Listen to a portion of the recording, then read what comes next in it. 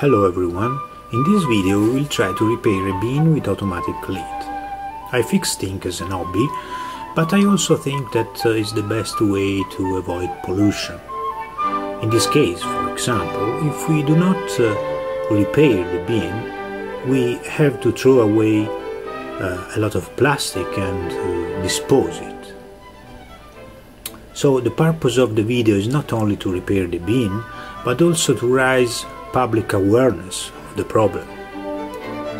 But let's see what it is. So this is the broken uh, automatic lid and uh, the problem is that uh, a small uh, plastic part inside is uh, broken.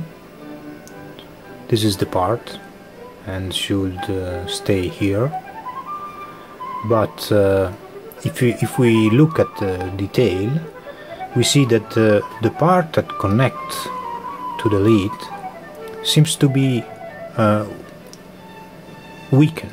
Uh, I mean, uh, there is a, a, sort of hole uh, that uh, is weakening the, the part for sure, and there is no apparent purpose of that hole. So, in my opinion, we can talk about planned obsolescence. You see also on the lead the same.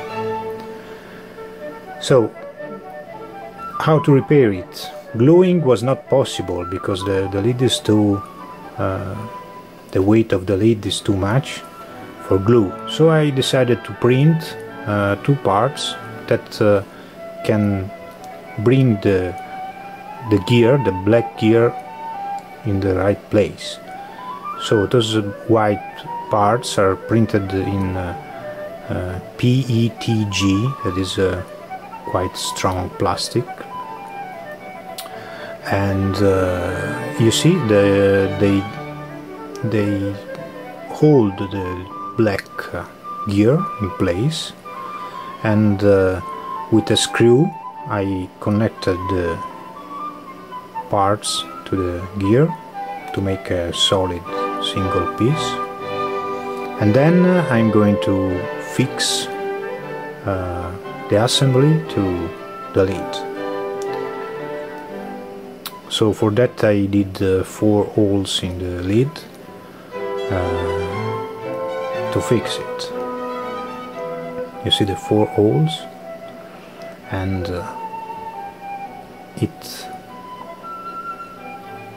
it is quite uh, solid and in this way uh, this old uh, uh, trash bin can be used again because it's perfect. Everything is perfect. The only problem was that millimeter of plastic broken and uh, it worked quite well. Uh, now you see it's perfect. It works. Okay thank you and to the next video